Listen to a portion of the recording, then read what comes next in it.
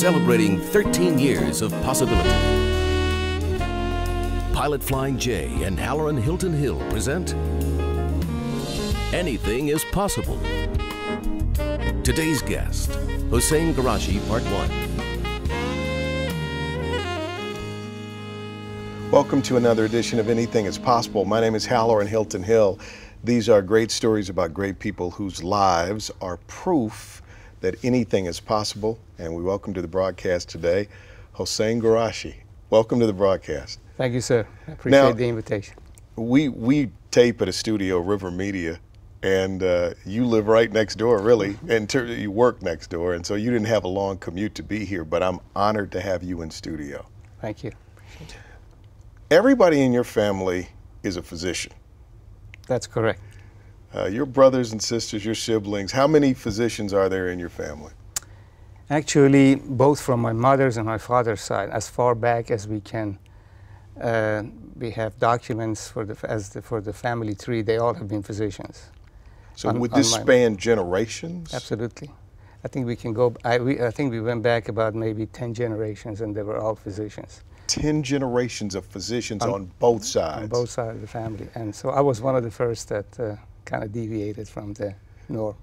Yeah, this is quite a deviation when you have that kind of uh, DNA, and I would imagine that there is an expectation. I mean, the path is there, um, but you decided to do something different. Engineering is what called you, and my understanding is you found that love in a very interesting way. Uh, actually, I fell into it because of, uh, I mean, my father was an eye surgeon, and he introduced me to the physics of the eyes, uh, and then I was interested in, in its makeup. And then he took me to a, uh, to a surgery. And it was then that I decided I think I want to do something else, and engineering and technical things was my love, so that's how I deviated in that direction. You're from Iran. How did you end up in the United States of America? Um, when I was 16, I participated in a program, in a, in a foreign exchange program called AFS, American, American Field Service.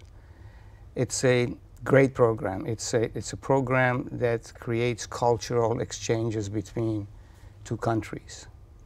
And I was one of the 16 selected to come over. They, they did a whole lot of interviews and they tried to match the background of the families. So I ended up in Barrington, Illinois, Barrington, uh, and attended Barrington High School, and that was the start of the being introduced to the U.S. and basically, uh, you know, uh, realizing that this is where I want to end up. Now, I understand that you became an ambassador for that very program. That's true. Actually, one of the uh, objectives of the program is to stay here for one year, go to school, and attend many uh, public speaking forums, you know, various high schools, and tell the people about the culture of your country, basically Right. introduce your country. And then I would go back home after a year after finishing high school. I went back home and I did the same thing back home. So it's a kind of, as I mentioned, exchange of uh, cultures and, and ideas, and, uh, and, and it worked really well. What were you telling people about your country and your culture I at found that time? Well, being 16 years old, of course, you realize that uh, that, the, that the concentration was mostly around some of the customs that I knew, and then also maybe about a student's life and a teenage life back home, and how does it how it differs from the from the ones in the U.S.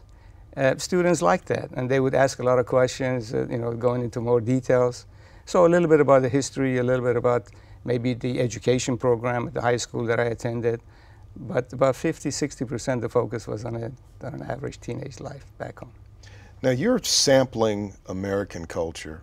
You're getting to attend lots of lectures. You're getting to experience the United States of America.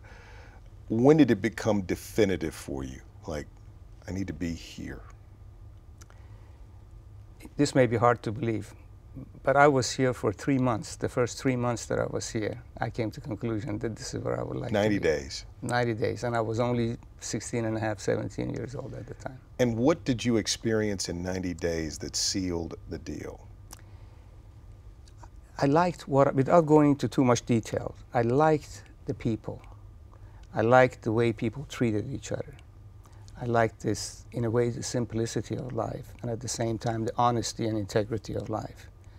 Uh, I, I, to me, that's something that really appealed to me. Mm. And, and I felt like that, that, that's when I felt that this is, this is the place that I would eventually would like to end up. It so happened that way.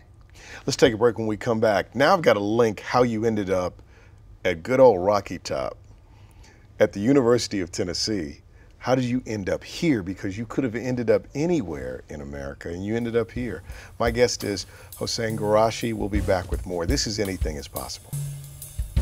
Possibility powered by Pilot Flying J, Covenant Health, Home Federal, and the Knoxville News Sentinel.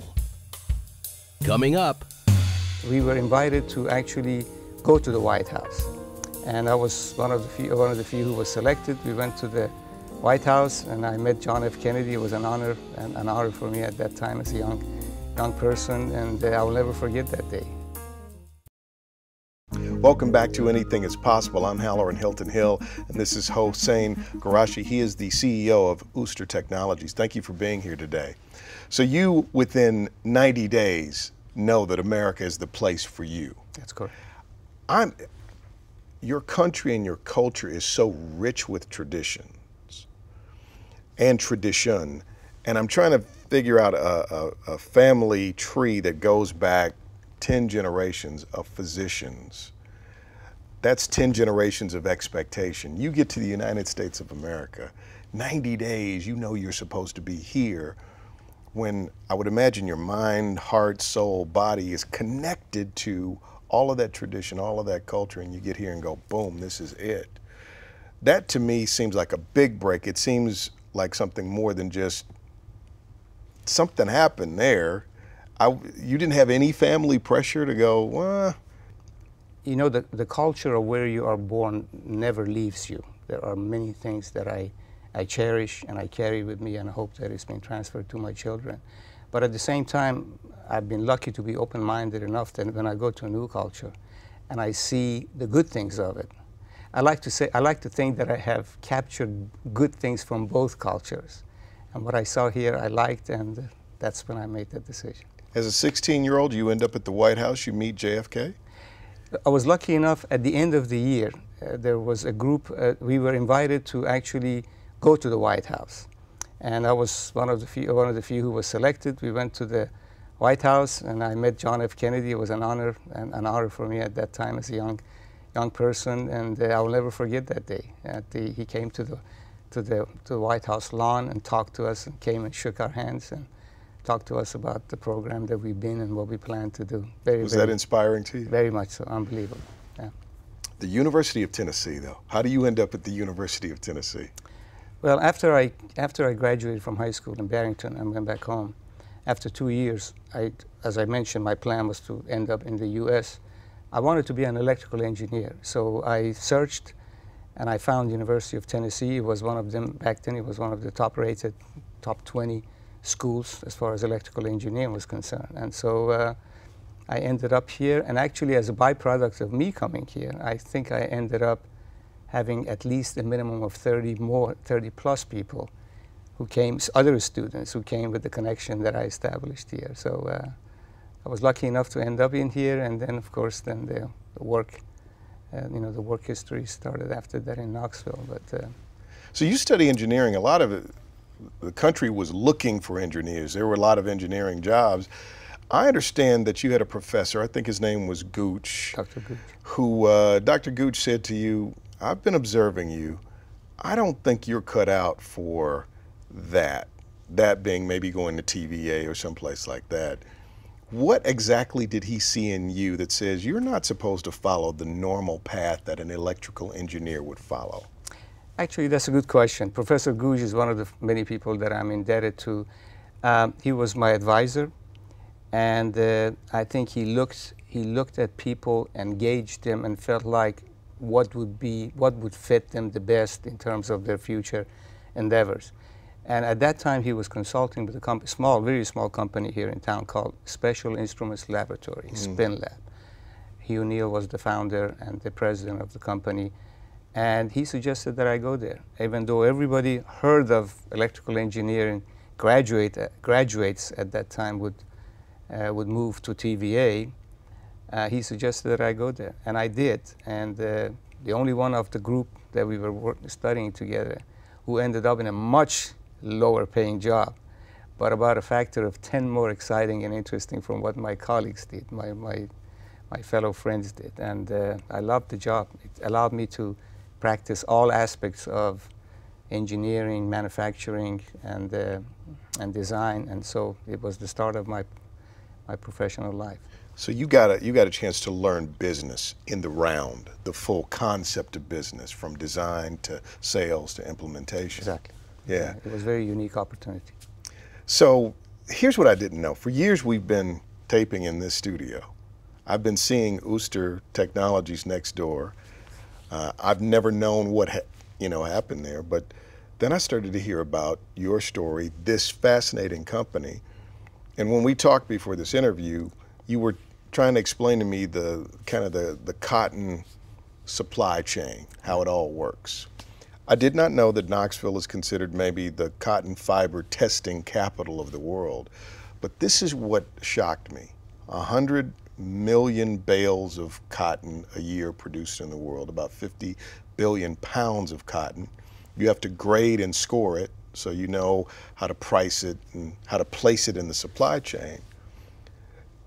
HVI, you and a couple of other engineers developed a technology that is used around the world. Did you ever see any of that coming? My understanding is your instruments are used to test about 35 billion of the 50 billion pounds of cotton that are tested in the world. Did you ever see that coming? Because that's that's mega the very, you know, very accurate information. Cotton is maybe just a little bit of a, you know, few lines of history.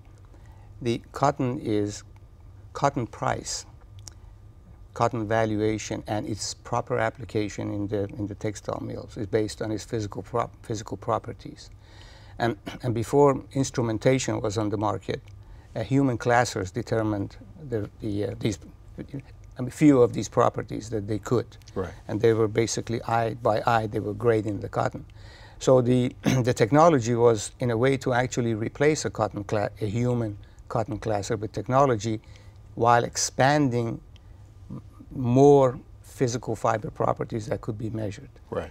Um, SpinLab at the time, at the SpinLab, the group of us were working on the project that we could maybe combine multiple measurements in one instrument that the United States Department of Agriculture would be interested in grading all of the U.S. cotton.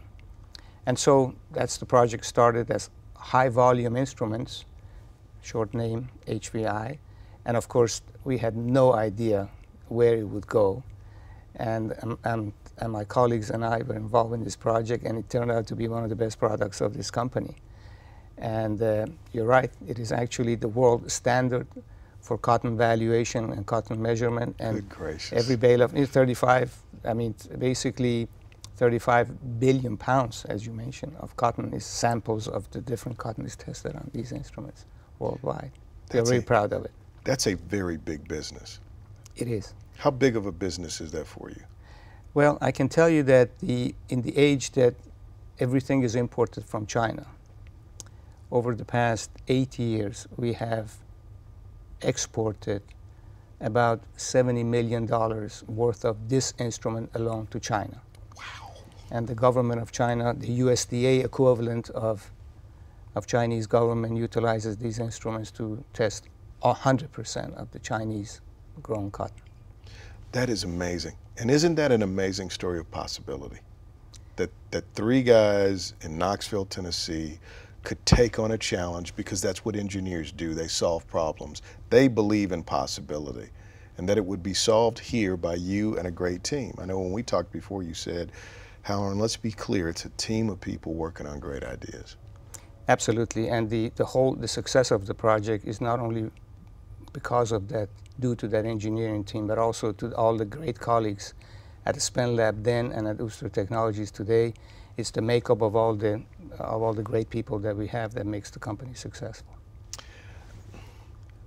There's a big difference between being an engineer and a CEO. Maybe. I mean, maybe a CEO is just a different type of engineer.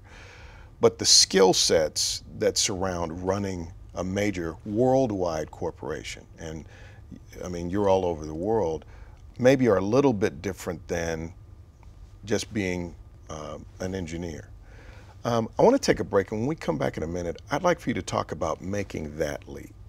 How you how you discovered that you were not only just an engineer, but you were placed here to be a leader as well.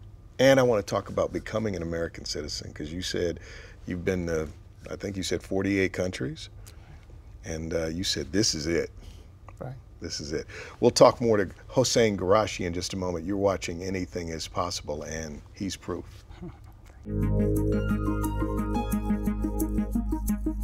Coming up, A good leader should be like a yo- yo-yo, that you can easily go to the top and see the big picture, and then just as easily, quickly go down to the little nitty-gritty things.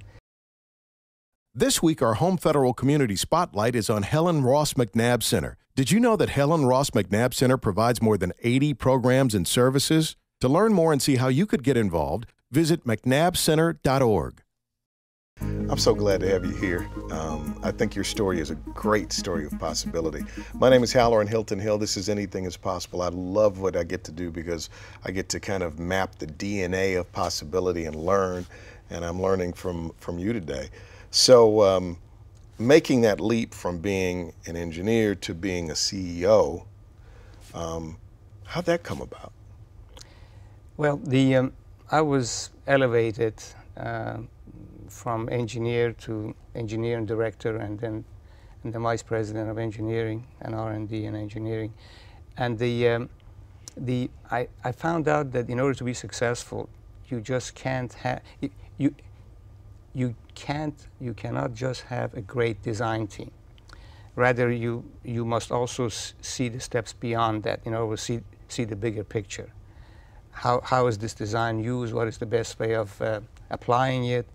How do you how do you gauge the market needs to whereas you modify your designs, you know, accordingly? I found those to be important, and I gradually gravitated in that direction. And uh, and in dealing with some of the large customers like USDA and and CFIP and other places in the world, I I, I became a an ambassador and that I would travel to these people, talk to them, learn about their needs, and I would come back and I would, I would convey it to the design team and try to maneuver and, and place our products in a, uh, in a proper fashion. Um, the, I always, for a long time, I always kept a piece of the pie for myself of the projects.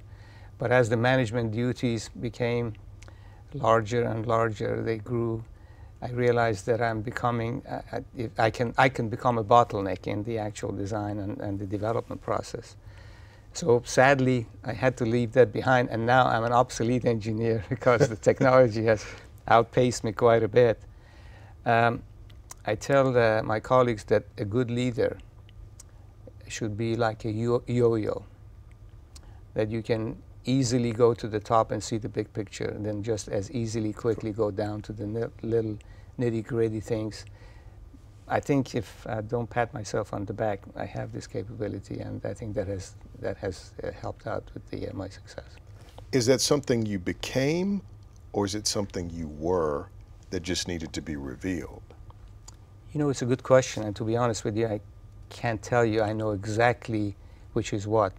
I knew that from the beginning, I wouldn't be just happy with a small project management. That uh, had to be something beyond that, and that is connectivity between what you create and what the actual user uses and applies it. And, and you know, and, and, and in many organizations, there's a big gap between these two.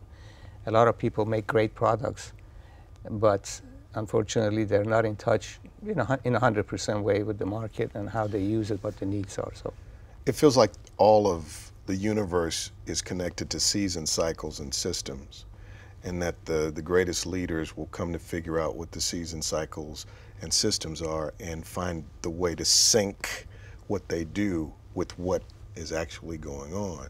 And I, I've noticed that in leaders. They want to know the whole picture. They want to know how it all connects, and then they become like you said, ambassadors, up and down, right? Because you got to go back to your people and and pass the binocular, show them what you're seeing. So so that's a that's a pretty big deal.